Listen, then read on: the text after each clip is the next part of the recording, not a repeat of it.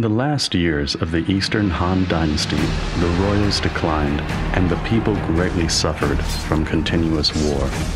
After witnessing the Yellow Turbans uprising and the dictatorship of Dong Zhuo, warlords from various regions rose up and tried to overthrow Dong Zhuo's rule. Liu Bei, one of the offspring of the imperial clan, joined the wars.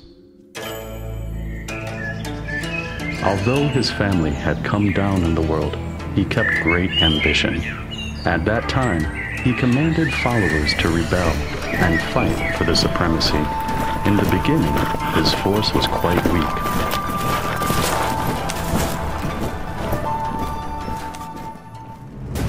After being defeated by Lu Bu, he retreated in Qingzhou and Suzhou. The failure in battle of Cao Cao forced him to retreat to the Jinshan area. His perseverance and meanness helped him convene a large number of followers. Therefore, he can preserve his military force after a series of failures. In the Battle of Red Cliff, Liu Bei, allied with Sun Quan, defeated Cao Cao to get a firm foothold. Therefore, he annexed Yizhou, captured Liu Zhang's force, and established the Shu state, which was known as Shu Han.